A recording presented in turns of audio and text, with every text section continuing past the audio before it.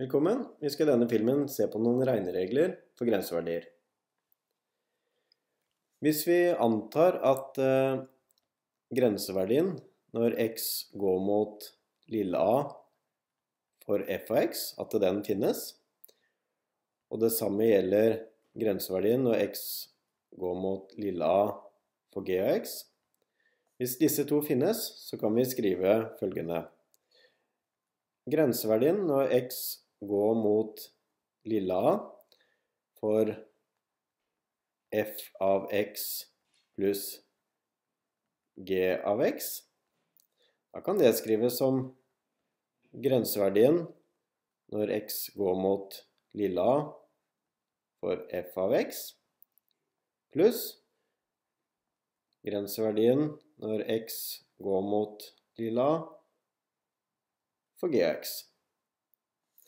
Tilsvarende, hvis eh, vi har grenseverdien når x går mot lilla for f av x ganget med gx, da kan det skrives som grenseverdien når x går mot lilla for f av x ganget med grenseverdien når x går mot lille a for g av x.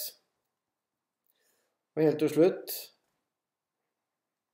grenseverdien når x går mot lille a, hvis vi har f av x delt på g av x på den måten her, ja, da kan det skrives som grenseverdien når x går mot lille a for f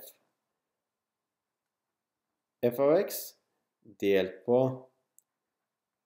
grenseverdien når x går mot lille a for g av x. Her må vi forutsette da, at eh, grenseverdien når x går mot lille a for g av x, at den er ulik null. Ellers så får vi null i, i nevner.